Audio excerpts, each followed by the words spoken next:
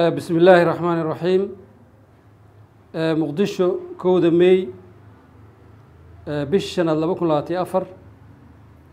Shirka wada tashiga beesha abgaal ee degta dowlad goboleedka hirshabeelle war murtiyeed.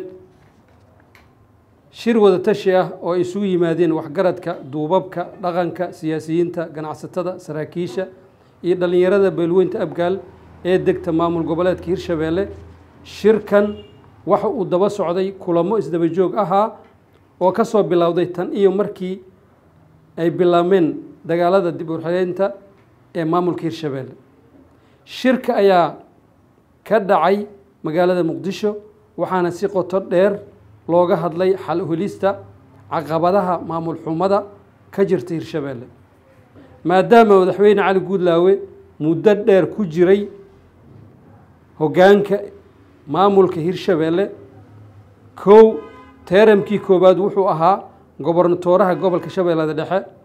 Labo teeramkii labaad wuxuu ahaa madaxweyne ku-xigeen.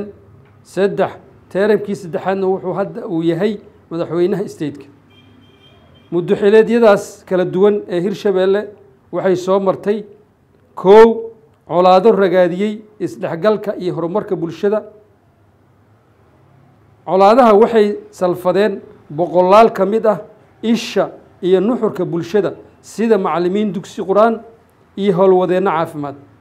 Labo waxaa jirta ku takrifal dhanka awoodda sharciga iyadoo lagu dhibaateeyey siyaasiyiin saraakiil iyo ganacsato taas oo ugu dambeyn doorashadii kuraastii baarlamaanka federaalka qaarkood lagu boobay.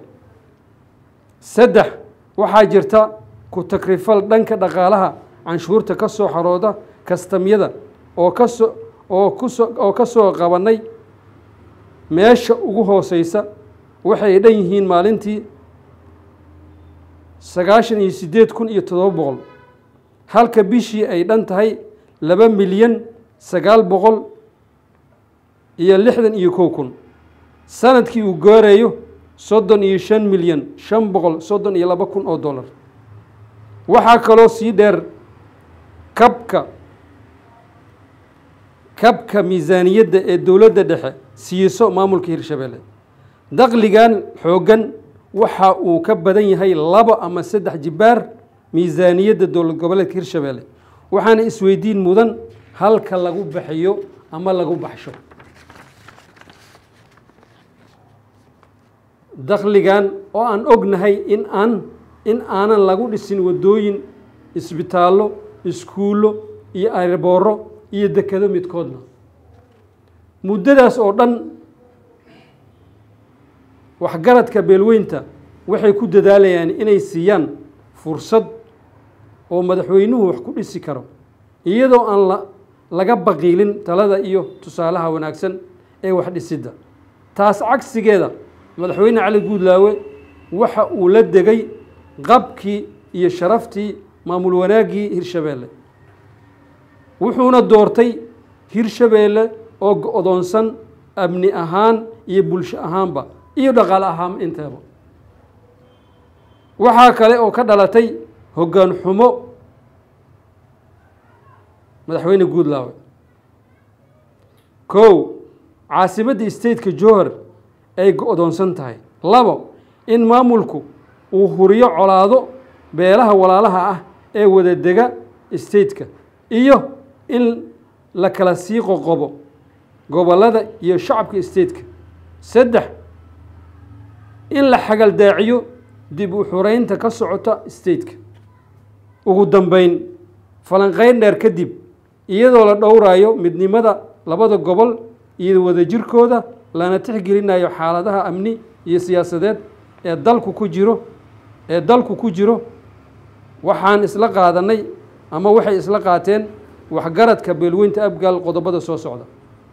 Kow in madaxweyne cali guudlaawe gebi ahaanba ka tanaasulo hogaaminta hirshabeelle maxaa yeelay madaxweyne cali guudlaawe caqabadaha hirshabeelle isagoo qayb ka ahaa xalkeeda qayb kama noqon kariyo. Waa inuu jaanis siiyo siyaasiyiinta kale si loo helo dhiig cusub. Labo waxaan ugu baaqaynaa dhammaan waxgaradka culimada aqoon-yahanada siyaasiyiinta dhallinyarada haweenka ee reer hirshabeelle inay isugu yimaadaan shirweyne si loogu kuurgalo aayaha iyo dhisidda new hirshabeelle ama hirshabeellada cusub. Saddex sidoo kale waxaan ugu baaqaynaa birmade xasan sheekh maxamuud inuu geed inuu u geed fadhiisto dib u yegleelidda new hirshabeelle ama hirshabeellada cusub wabilaahi towfiiq wassalaamu calaykum waraxmat ullaahi wabarakaatu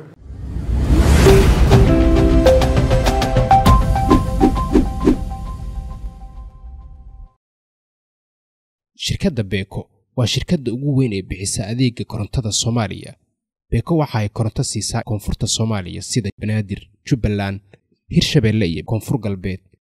Beeko waxa ay siisaa adeeg koronto oo dhammaystiran dhammaan toddoba iyo tobanka degme ee gobolka banaadir iyo goobaha ugu waaweyn magaalada muqdisho sida airboorka aadan cadde dekedda muqdisho iyo dhammaan safaaradaha iyo hay'adaha caalamiga ah